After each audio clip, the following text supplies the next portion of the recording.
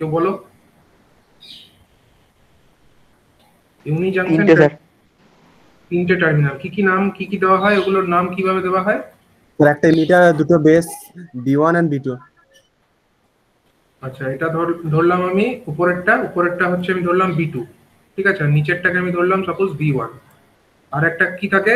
এটা এটা এটা যদি পি এন টাইপের হয় তাহলে এখানে একটা লেয়ার থাকবে তাই তো? এখানে একটা পি টাইপ সেমিকন্ডাক্টরের লেয়ার পি টাইপের একটা লেয়ার থাকবে এবং বাকি হচ্ছে এই সেমিকন্ডাক্টরটা হচ্ছে এন টাইপের তাই তো?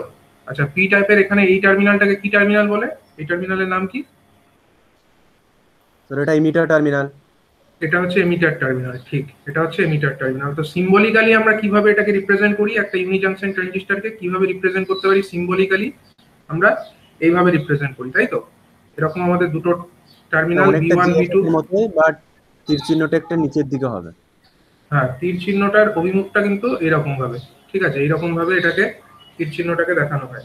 এটা হচ্ছে আমাদের ই, এমিটার, ঠিক আছে? এটা হচ্ছে এমিটার, উপরের টার্মিনাল যেটা আছে, এটা হচ্ছে এটা হচ্ছে আমাদের বি টু, আর নিচেরটা হচ্ছে বি ওয়ান, তাই তো? এটা হচ্ছে বি ওয়ান। এরকম ভাবে আমরা একটা আমাদের যে ইউজেটি হ্যাঁ এন চ্যানেল আমাদের যদি ইউজেটি হয়, সেটাকে আমরা এইভাবে রিপ্রেজেন্ট করে থাকি। ঠিক আছে, এবার এই ইউজেটির ব্যবহার যখন আমরা বলেছি ইউজেটিকে আমরা একটা রিল্যাক্সেশন অসিলেটর হিসাবে ব্যবহার করতে পারি। এবার এই অসিলেটর ব্যাপারটা কি? অসিলেটর যে সাব টপিকটা সেটা হচ্ছে তোমাদের পরের সেমিস্টারে আছে। অসিলেটর ডিটেলসে তখন তোমরা পড়বে।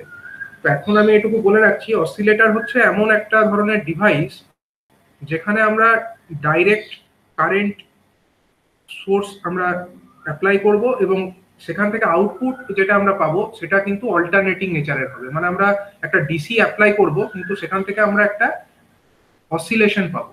মানে ইন জেনারেল যদি আমরা ডিসির কথা বলি ডিসির মধ্যে তো কোনো অসিলেশন থাকে না। ডিসি হচ্ছে এরকম একটা ফিক্স টাইপের ভোল্টেজ এটাকে আমরা ডিসি বলে থাকি। কিন্তু আমরা আউটপুট যেটা পাবো একটা অসিলেটর থেকে, সেটা কিন্তু এরকম একটা ফিক্স টাইপের ডিসি হবে না। সেটার মধ্যে কিন্তু অনেক ফ্লাকচুয়েশনস থাকবে। ফ্লাকচুয়েশনস যেমন কীরকম? ফ্লাকচুয়েশন কাকে বলে? যেমন ধরো আমরা যদি এইরকম ডিসি অ্যাপ্লাই করে এরকম একটা আউটপুট পেয়ে যাই। এরকম ধরো আমরা আউটপুট পাচ্ছি। এটাকে কি আমরা একটা কনস্ট্যান্ট ভোল্টেজ বলতে পারি? এটা তো কনস্ট্যান্ট ভোল্টেজ নয় এর মধ্যে অনেক ফ্লাকচুয়েশনস আছে তাই না? এর মধ্যে অনেক ফ্লাকচুয়েশনস আছে। তাহলে এইরকম যদি আমরা একটা ভোল্টেজ পাই হ্যাঁ এটাকে আমরা পালসেশন বলতে পারি বা এটাকে আমরা অসিলেশনও বলতে পারি। ঠিক আছে? তো এই ধরনের যদি আমরা একটা আউটপুট পেয়ে যাই ঠিক আছে? এই ধরনের একটা আউটপুট আমরা পেয়ে যাই কার মাধ্যমে পাই? তার জন্য আমাদেরকে কাজে লাগানো লাগাতে হয় অসিলেটর এই অসিলেটর সম্পর্কে বিশদে তোমরা পরের সেমিস্টারে পড়বে।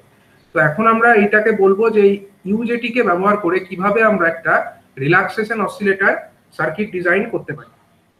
ঠিক আছে? রিল্যাক্সেশন অসিলেটর হিসাবে আমরা এই ইউজেটিকে কীভাবে কাজ করাতে পারি। ঠিক আছে? তো তার জন্য যেটা করতে হয়, তো প্রথমে আমরা সার্কিটটা একবার দেখে নেব। রিল্যাক্সেশন অসিলেটরের সার্কিট ডায়াগ্রামটা কীরকম হয়ে থাকে? তো এটা ধরো একটা ইউজেটি তার হচ্ছে তিনটি টার্মিনাল নিচের টার্মিনালের নাম হচ্ছে বি ওয়ান উপরের টার্মিনালের নাম হচ্ছে আমার বি টু এবং এখানে যেটি আছে সেটি হচ্ছে এমিটার টার্মিনাল এরকম। ঠিক আছে, এটা হলো আমাদের এমিটার টার্মিনাল ই নাম দিলাম। এবার আমরা কি করব? এই বি টু আর বি ওয়ানের মধ্যে কি অ্যাপ্লাই করা থাকে বলো? বি টু বি ওয়ানের মধ্যে কি লাগানো থাকে জেনারেলি এখানে একটা ডিসি ভোল্টেজ আমরা অ্যাপ্লাই করি, তাই তো? বি টু এবং বি ওয়ানের মধ্যে একটা ডিসি ভোল্টেজ আমাদেরকে অ্যাপ্লাই করতে হয়। তো তার আগে আমরা কিন্তু ডাইরেক্টলি এখানে করব না, আমরা হচ্ছে বি টু টার্মিনালের এখানে একটা রেজিস্টারকে কানেক্ট করব।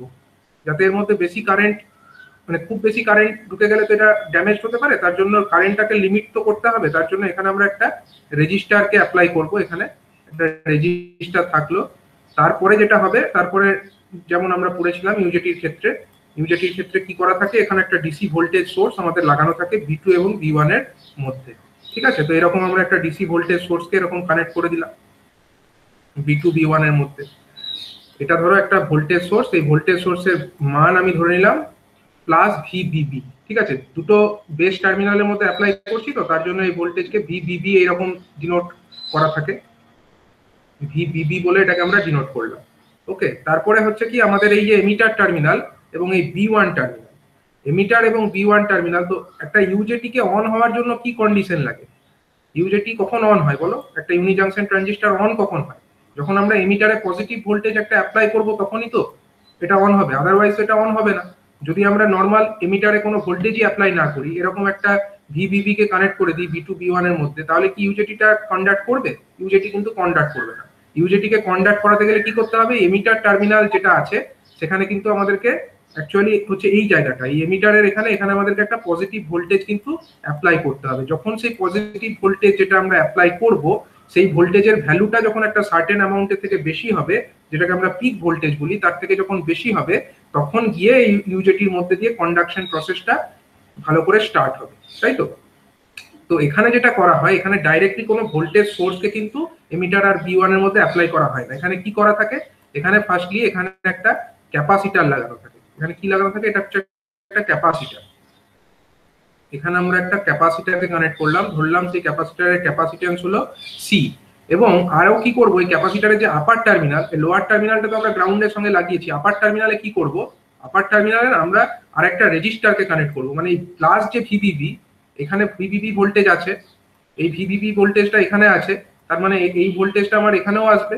তাই তো? একদম এই টার্মিনালেও ভোল্টেজ কত এখানেও ভোল্টেজটা ভিভিবি হবে। এই ভিভিবি ভোল্টেজটাকেই আমরা ক্যাপাসিটারের অ্যাক্রসে অ্যাপ্লাই করব ভায়া একটা রেজিস্টার ঠিক আছে? এখানে একটা রেজিস্টার থাকবে ভ্যারিয়েবল একটা রেজিস্টার আমরা সেই রেজিস্টারের নাম সাপোজ দিলাম হচ্ছে আর ওয়ান ঠিক আছে? এই রেজিস্টারটা রেজিস্টারের রেজিস্ট্যান্সের ভ্যালু আমরা বললাম আর ওয়ান আর এইখানে যে রেজিস্টারটা ছিল, সেই রেজিস্টারের রেজিস্ট্যান্সটা আমরা বললাম আর টু ঠিক আছে? এখন দেখো, যখন আমাদের যখন আমাদের এই ভিভিবি ভোল্টেজটা আমরা অ্যাপ্লাই করেছি ইউজেটি যেটা আছে, আমাদের ইউজেটি পোর্শন কতটুকু? ইউজেটিটা হচ্ছে এই অংশটুকু।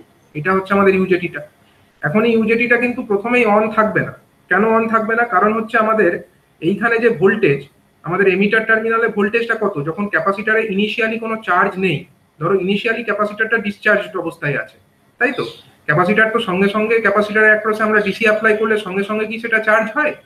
একটা ধরো ডিসি ব্যাটারি তার অ্যাক্রসে যদি আমরা একটা, তোমরা পড়েছো, তোমাদের সার্কিট আর নেটওয়ার্কের মধ্যে এগুলো পড়ানো হয়েছে, ধরো একটা রেজিস্টার আছে এরকম, আর ধরো এরকম একটা ক্যাপাসিটার আছে। তো আমরা যখন এই সুইচটাকে অন করব, এই সুইচটাকে যেই আমরা ক্লোজ করব, সঙ্গে সঙ্গে কি ক্যাপাসিটারটা ফুল ভোল্টেজে চার্জ হয়ে যাবে? তা কিন্তু হবে না। ক্যাপাসিটারটা চার্জ হবে, কিন্তু ক্যাপাসিটারটা একটা নির্দিষ্ট সময়ে পরে গিয়ে সেটা চার্জ হবে। যদি একটা আরসি সার্কিট এরকম হয় ক্যাপাসিটারটা চার্জ হবে ফুল ভোল্টেজেই চার্জ হবে, কিন্তু এই রকম ভাবে একটা প্রসেসে কিন্তু আস্তে আস্তে ভোল্টেজটা পিক ভ্যালুতে গিয়ে পৌঁছাবে, ঠিক আছে?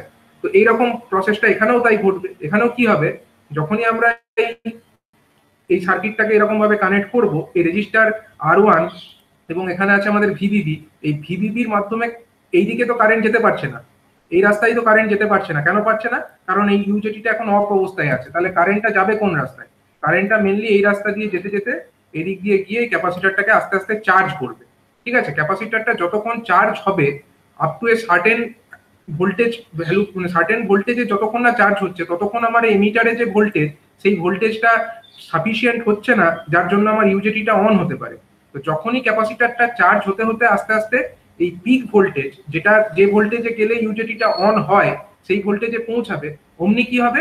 ক্যাপাসিটারটা কিন্তু যখনই সেই ভোল্টেজে চার্জ হয়ে যাবে, তখনই আমার এমিটার টার্মিনালে যথেষ্ট ভোল্টেজ পড়ে যাবে এবং এমিটার টার্মিনালে যখনই যথেষ্ট ভোল্টেজ পড়বে, যার জন্য আমাদের এই ইউজেটি যেটা আছে ইউজেটিটা কিন্তু অন হয়ে যাবে। এতক্ষণ পর্যন্ত ইউজেটিটা কিন্তু অন ছিল না। এবং তোমরা জানো ইউজেটিটা যখন অন হয়ে যায়, তখন কি হয়? ইউজেটি যখনই অন হয়ে যায়, তখন আমাদের এখানে যে চার্জ ক্যারিয়ার্সগুলো আছে, সেই চার্জ ক্যারিয়ারগুলো কি করে? এদিক থেকে গিয়ে নিচের দিকে জমা হতে থাকে, নিচের দিকে জমা হতে থাকে। কারণ উপরের দিকে তো পজিটিভ ভোল্টেজ আছে।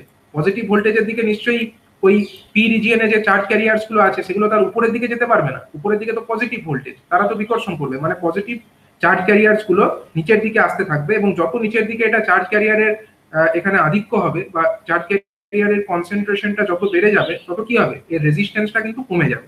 ঠিক আছে? এবং কারেন্টের ভ্যালুটা বেড়ে যাবে। এইভাবেই ইউজেটিটা অন হয়। এখন যেটা হবে, যখন আমার ক্যাপাসিটারটা একটা পার্টিকুলার ভোল্টেজ সেই ভোল্টেজটা হচ্ছে পিক ভোল্টেজ ঠিক আছে? পিক পয়েন্ট ভোল্টেজ সেই তখন তখন আমরা বলতে পারি যে আমাদের এই ইউজেটিটা অন হয়ে গেছে। ক্যাপাসিটারটা আস্তে আস্তে চার্জ হবে। কার মাধ্যমে চার্জ হবে? এই ভিবিবির মাধ্যমে এই আর ওয়ান এবং সি এর মাধ্যম দিয়ে এই সার্কিটের মাধ্যমে ক্যাপাসিটারটা আস্তে আস্তে চার্জ হবে। চার্জ হতে হতে যখন এর ভোল্টেজের ভ্যালুটা ওই পিক ভোল্টেজ বা পিক পয়েন্ট ভোল্টেজ ভিপিতে পৌঁছাবে, তখন গিয়ে কি হবে? ইউজেটিটা অন হয়ে যাবে। এবং ইউজেটিটা যখন অন হয়ে যাবে, তখন কি হবে? তখন হচ্ছে ক্যাপাসিটারটা তখন তার মধ্যে থাকা যে চার্জ মানে ক্যাপাসিটারের আপার প্লেটটা পজিটিভ নিচের দিকটা আমি নেগেটিভ ধরলাম, ক্যাপাসিটারের মধ্যে থাকা যে চার্জ সেটা হচ্ছে এই রাস্তা দিয়ে ডিসচার্জ হবে আস্তে আস্তে। ঠিক আছে?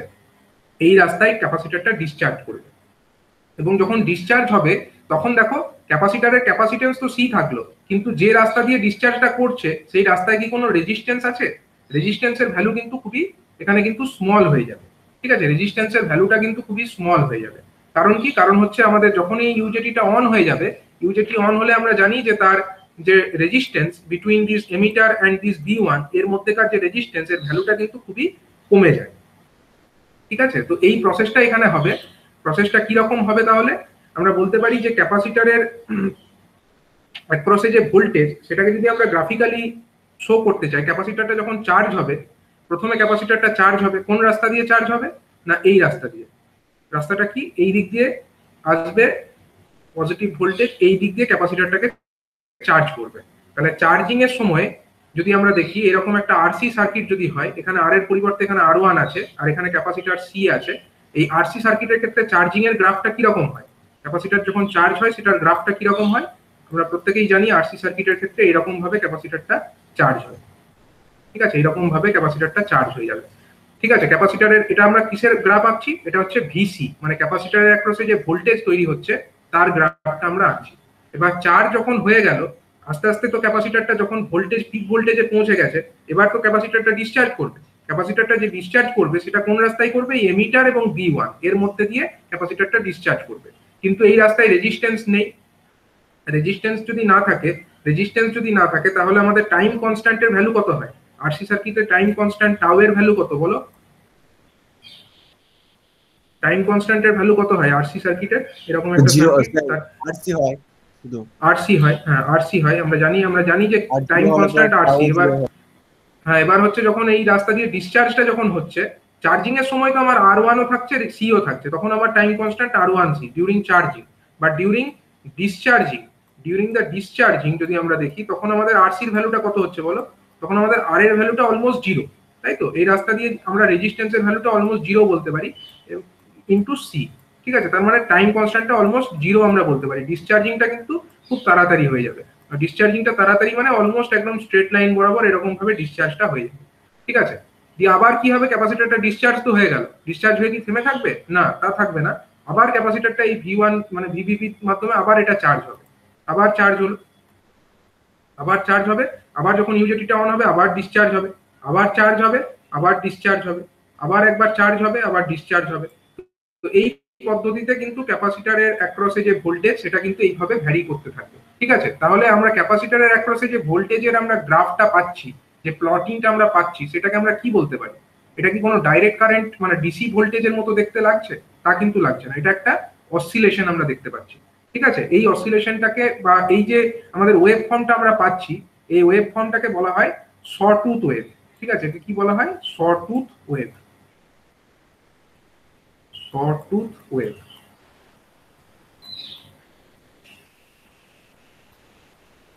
তোমরা করাত দেখেছ? সেই স বা করাত যেটা কাঠ কাটার কাজে ব্যবহার করা হয়, তো সেরকম মানে তার যে টুথ মানে শয়ের যে টুথগুলো থাকে দাঁতগুলো থাকে, তার মতো দেখতে অনেকটা লাগছে এই ওয়েভ ফর্মগুলো। ঠিক আছে? তার জন্য এটাকে শর্টুথ ওয়েভও বলা হয়ে থাকে। এবং এই যে আমাদের টোটাল সার্কিটটা সেটার জন্য আমাদের কিন্তু কি ব্যবহার করতে হলো? মেন কম্পোনেন্ট আমার কাজটাকে করল, এখানে মেন কম্পোনেন্ট কিন্তু ইউজেটিটা এবং ইউজেটিকে ব্যবহার করে আমরা এরকম ডিসি ভোল্টেজ অ্যাপ্লাই করেছি। আমরা তো কোনো অল্টারনেটিং ভোল্টেজ এখানে অ্যাপ্লাই করিনি। আমরা সিম্পল একটা ব্যাটারি ডিসি ব্যাটারির মাধ্যমে ভোল্টেজ অ্যাপ্লাই করেছি। কিন্তু তার মাধ্যমে আমরা যে ওয়েব ফর্মটা পাচ্ছি, সেটা কিন্তু একটা শর্টুথ ওয়েভ পাচ্ছি। এটাকে আমরা বিভিন্ন পারপাসে ইউজ করতে পারি। যেখানে শর্টুথ ওয়েভের ব্যবহার আছে, সেখানে আমরা এটাকে ইউজ করতে পারি। ঠিক আছে? তো এইভাবে আমরা একটা এই শর্টুথ ওয়েভ যেহেতু জেনারেট করতে পারছি এই সার্কিটের মাধ্যমে, এই সার্কিটটাকে বলা হয়ে থাকে রিল্যাক্সেশন অসিলেটর ঠিক আছে? তো এইভাবে একটা ইউজেটিকে ইউজ করে আমরা শর্টুথ ওয়েভ বা রিল্যাক্সেশন অসিলেটর হিসাবে ইউজ করতে পারি।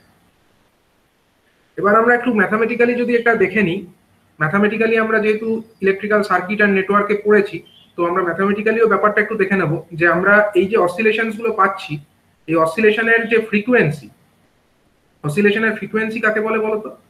টাইম পিরিয়ড কোনটা? এই অসিলেশন যেটা হচ্ছে, তার টাইম পিরিয়ড কোনটাকে বলব আমি? কোথা থেকে? টাইম পিরিয়ড হচ্ছে আমাদের, এখান থেকে শুরু হচ্ছে ধরো স্টার্টিং যে জিরো সেখান থেকে নেক্সট যে আবার জিরো হচ্ছে। এই সময়কালটাকে আমরা বলতে পারি একটা টাইম পিরিয়ড ঠিক আছে? আর এই যে সময়কাল, তার যে রেসিপ্রোকাল ফ্রিকোয়েন্সি কত হবে? ফ্রিকোয়েন্সি সমান হবে one divided by time period তো কত ফ্রিকোয়েন্সির এই অসিলেশনটা আমরা চাইছি? কত হার্জের অসিলেশন আমরা চাইছি? সেটাকে কিন্তু আমরা আমরা ইচ্ছা মতো কন্ট্রোল করতে পারি। সেটা কিন্তু আমাদের কন্ট্রোলে থাকবে।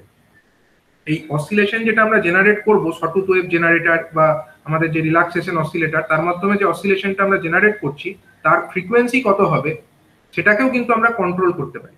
কীভাবে কন্ট্রোল করতে পারি, সেটা একবার ম্যাথামেটিক্যালি দেখে নেওয়া যায় দেখো, যখন আমাদের এই সার্কিটটা এই যে সার্কিটটা এটাকে আমি আরেক এটাকে আমি একবার কপি করে নিই।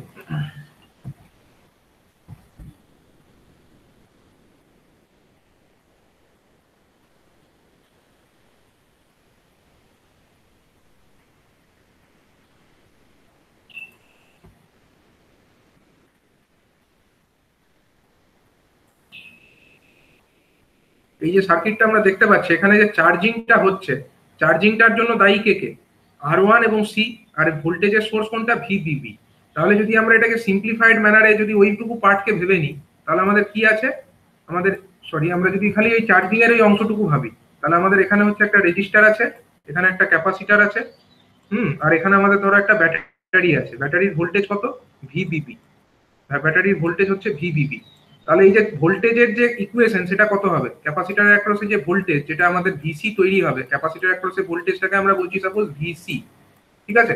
আর এই যে ব্যাটারির ভোল্টেজ সেটা হচ্ছে আমাদের পজিটিভ ভোল্টেজ কত? সেটা হচ্ছে ভিবিবি এটা হচ্ছে ভিবিবি আর এখানে যে রেজিস্টারটি আছে রেজিস্টারের রেজিস্ট্যান্স কত?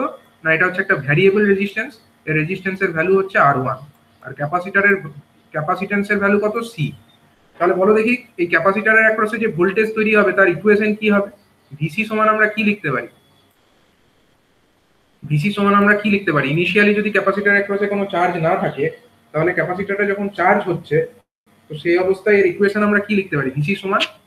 One by C integration IT হ্যাঁ one by C integration IT DT সেটা আমরা লিখতেই পারি। এখানে যে কারেন্ট একটা তৈরি হবে। ঠিক তো আমি ফাইনাল এক্সপ্রেশনটা একটু চাইছি। এটা সেইভাবে আমরা ডিরাইভ করতে পারি one by C integration of IC DT যেটা বলছো মানে এখান দিয়ে যে কারেন্টটা যাচ্ছে সেটাকে আমরা আইটি ডিটি লিখতেই পারি।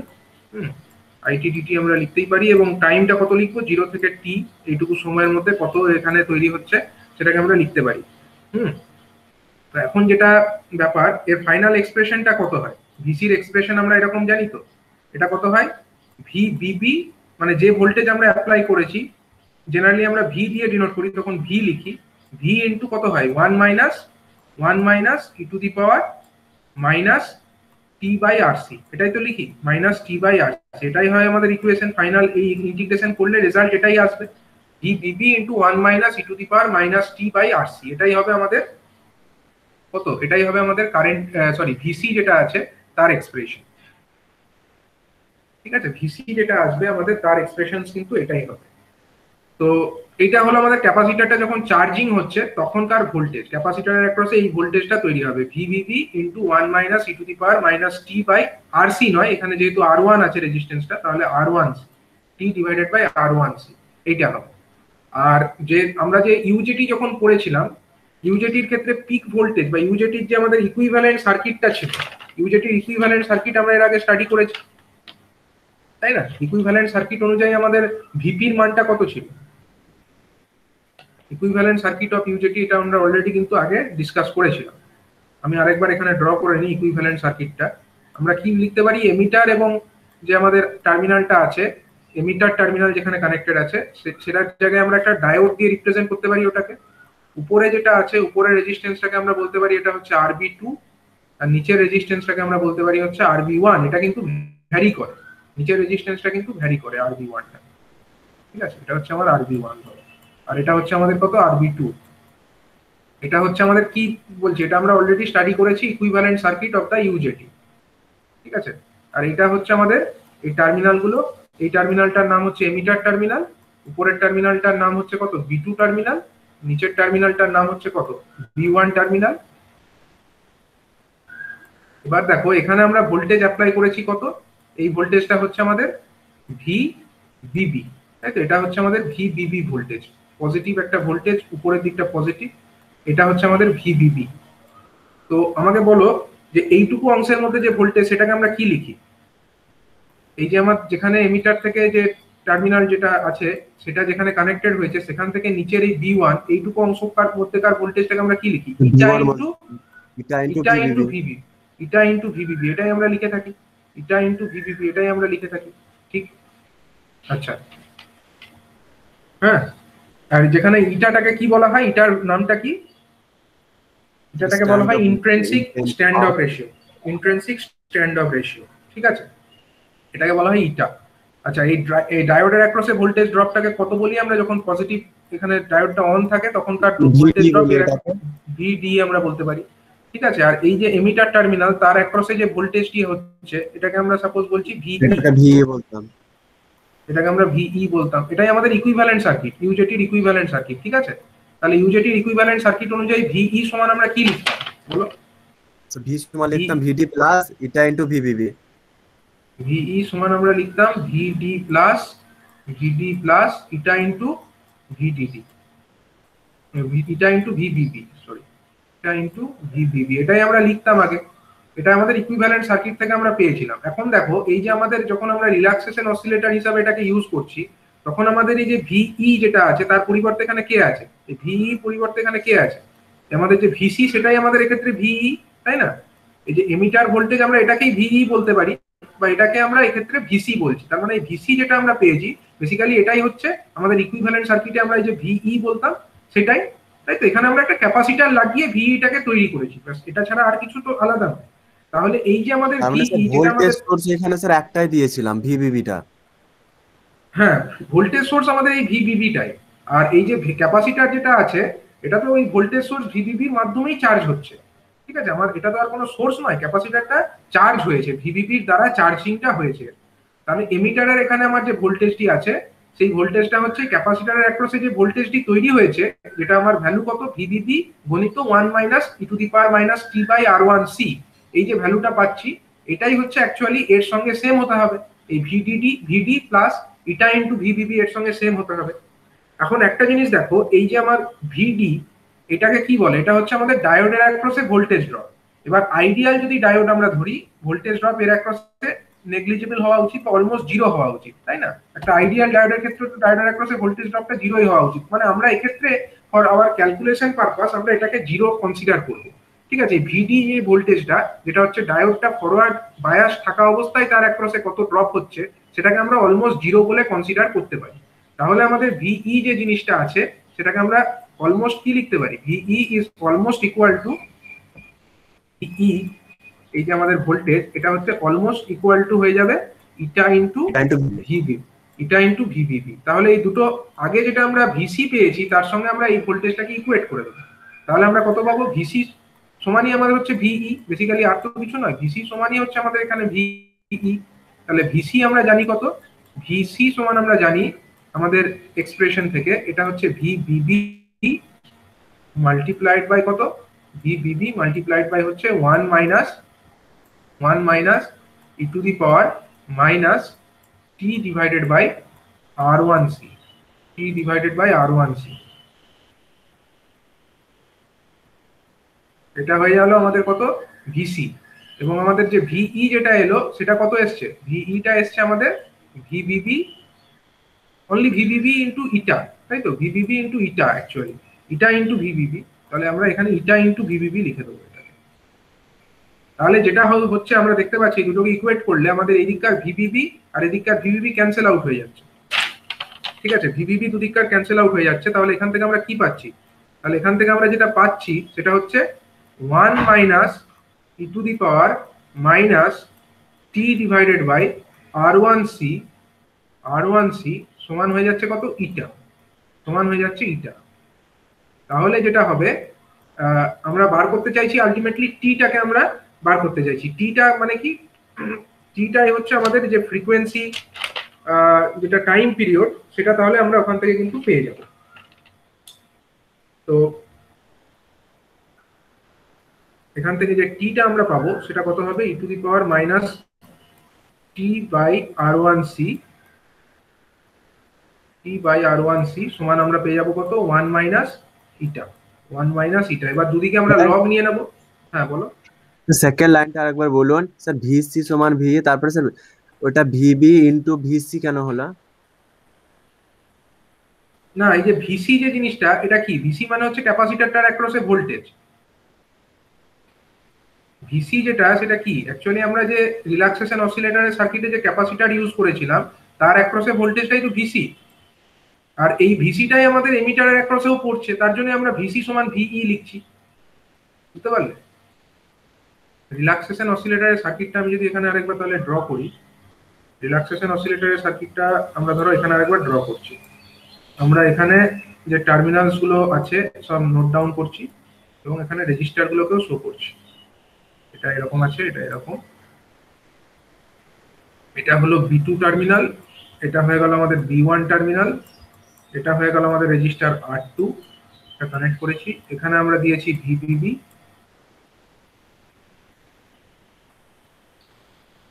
এখানে আমরা কি কানেক্ট করেছি? এই এমিটার টার্মিনালের এখানে আমরা একটা ক্যাপাসিটারকে কানেক্ট করেছি। এটা একটা ক্যাপাসিটার আছে। যে ক্যাপাসিটারটা কীভাবে চার্জ হয়েছে? না, এখানে একটা রেজিস্টারের ভায়া হয়ে ওটা চার্জ হয়েছে।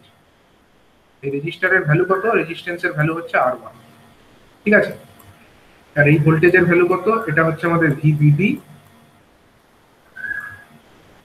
আর এইখানে এটা যেটা আছে, সেটা হচ্ছে আমাদের ক্যাপাসিটার ক্যাপাসিটারের আপার প্লেটটা পজিটিভলি চার্জ হবে নেগেটিভলি চার্জ হবে লোয়ার প্লেটটা আচ্ছা এখন আমাকে বলো এই যে ক্যাপাসিটারের অ্যাক্রসে যে ভোল্টেজ সেটাকে আমরা কি লিখতে পারি? সেটাকে আমরা ভিসি লিখতে পারি তো? ক্যাপাসিটারটা ধরো এই দিক দিয়ে কার ভোল্টেজ এসে ক্যাপাসিটারটাকে চার্জ করছে। এই রাস্তায় ক্যাপাসিটারটা চার্জিং হয়েছে। যখন চার্জিং হলো ক্যাপাসিটার অ্যাক্রসে একটা ভোল্টেজ তৈরি হবে, এই ভোল্টেজটাকে আমরা কি লিখতে পারি? ভিসি লিখতেই পারি ক্যাপাসিটার অ্যাক্রসে যেহেতু ভোল্টেজ আর যে ক্যাপাসিটার অ্যাক্রসে যে ভোল্টেজটা তৈরি হলো, সেটাই অ্যাকচুয়ালি কি?